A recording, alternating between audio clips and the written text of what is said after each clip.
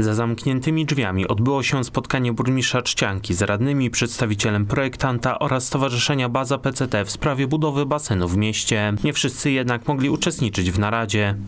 Media się pojawiły i po prostu powiedziano mediom, że, że nie mogą uczestniczyć.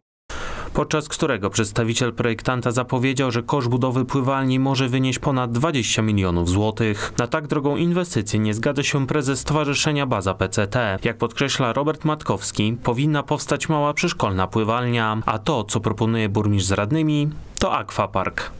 Nas na to nie stać i może być problem, że będziemy mieć piękny e, projekt e, pływalni, natomiast nie, nie, nie zrealizujemy go nigdy, bo nie będziemy na to pieniędzy. Póki co w budżecie miasta na basen zabezpieczono 6 milionów złotych. Burmistrz Trzcianki liczy również na wsparcie starosty Czarnkowsko-Trzcianeckiego, a projektowanie basenu jest już na ukończeniu. Jesteśmy, można powiedzieć, na 90 parę procent już w fazie projektowania, teraz jeszcze tylko pozwolenia na budowę. Projekt basenu wraz z kosztorysem powinien być gotowy w październiku. Realizacja projektu pływalni spowoduje również zmniejszenie ilości inwestycji, m.in. drogowych i chodnikowych w mieście, co niepokoi mieszkańców Trzcianki. Na tyle, na ile można zminimalizować te koszty, to trzeba to zrobić.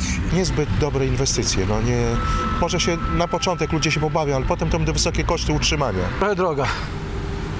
Także to są pieniądze, mi się wydaje, że, że taki będzie korzyść tej pływalni, to nie mam pojęcia, ale duży, duży wydatek bynajmniej. Czy na taki wydatek będzie stać Trzciankę? Burmistrz zapowiada spotkanie w starostwie, podczas którego chce zaproponować, aby do budowy pływalni dołożyły się gminy z powiatu czarnkowsko-trzcianeckiego. W październiku również na temat dalszego finansowania tej inwestycji będą decydować radni.